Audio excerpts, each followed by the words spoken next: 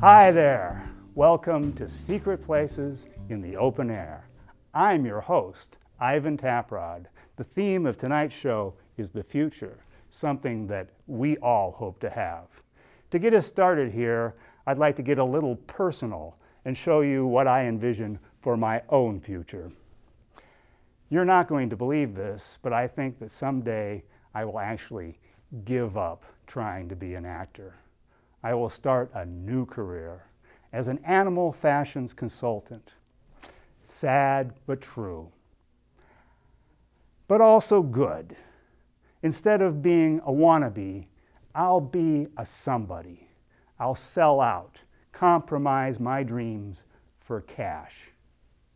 I will dress up people's dogs and cats, even their goldfish, make them look like the darling little people that their owners think they are. I'll make millions. Millions, I tell you. I'll be flooded with money, so much money that I won't be able to spend it all.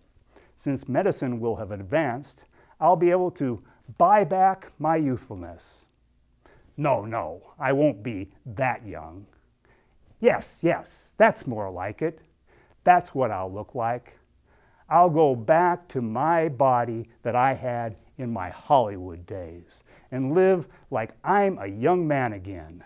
The money will keep pouring in, and then I'll decide to become the one thing that I've always dreamed of being, but could never imagine I could truly be.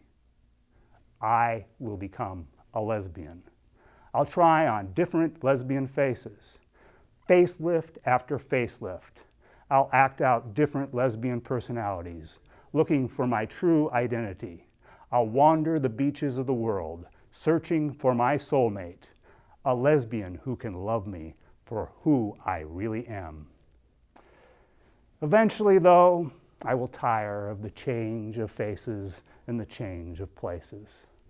I will have my final facelift. I'll go back to my Hollywood days. I will write a script, the story of my life. Ivan Taprod, lesbian actor wannabe. I'll watch old commercials of myself on a retro TV. I will come to understand that I'm just me, and that's just what I'm stuck with. The money will keep coming in, but I'll grow old and weary. I will keep watching the old commercials of myself. And finally, at long last, I will die.